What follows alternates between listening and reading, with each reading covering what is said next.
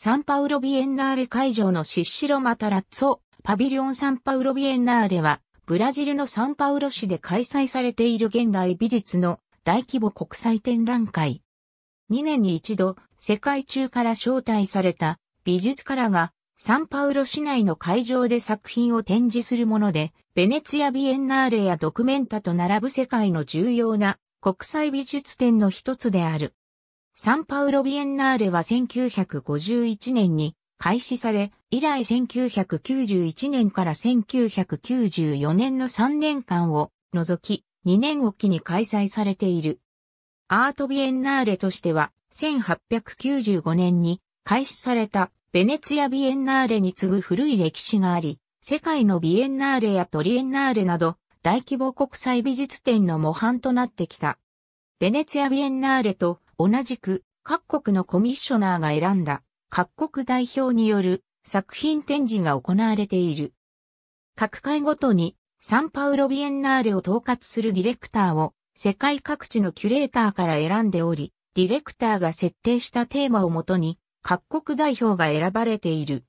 また各国代表以外にもディレクターが独自に世界の作家を集めてグループ展を開催している。当初の目的は主に西欧や米国からの現代美術をブラジルに紹介し、ブラジル国民がパリやニューヨークなど世界的な大都市における同時代のアートシーンに触れることができるようにすることであり、サンパウロを国際的な美術の中心の一つとすることであった。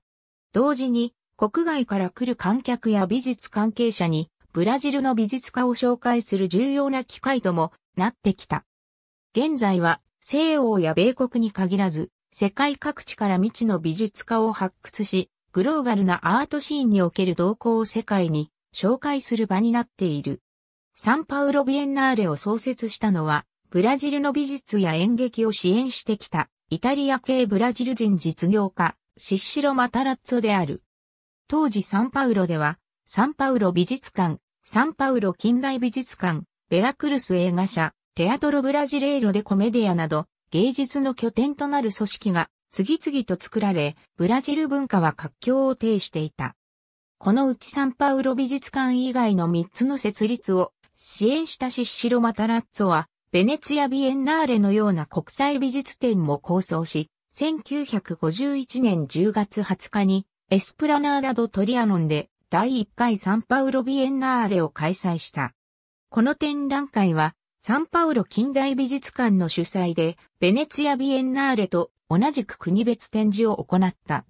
23カ国が招待されており、20世紀美術の様々な運動を紹介する企画展も同時に行われた。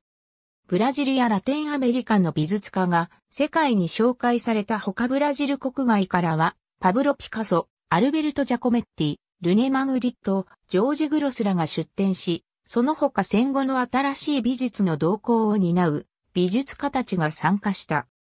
1953年の第2回は、サンパウロ市400年祭を記念する大規模なもので、20世紀前半の美術を外観する優れた展覧会となり、パブロ・ピカソのゲルニカが展示されたことでもブラジル国内外の注目を集めた。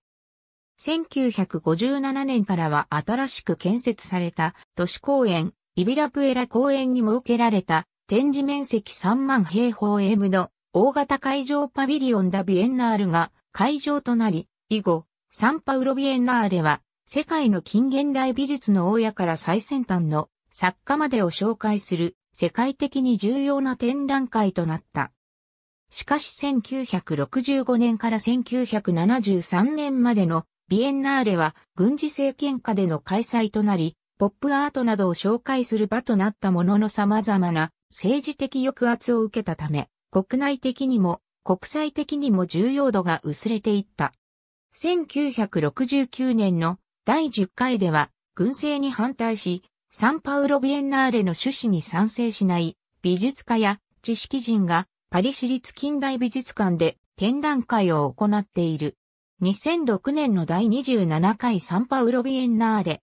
現在は多摩数年に行われている1960年代末は、ベネツィアビエンナーレなど、各地の伝統的な美術展も若者の抵抗に直面し、あり方を考え直さざるを得ない時期となっていた。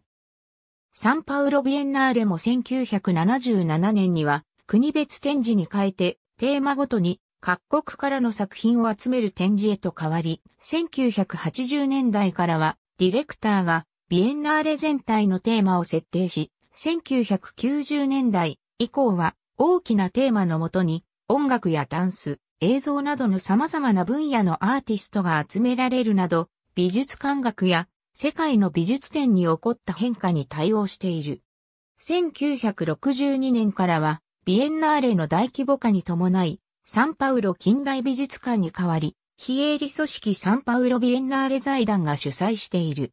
1973年からは、美術展の他に、建築、デザインビエンナーレも開催されている。ありがとうございます。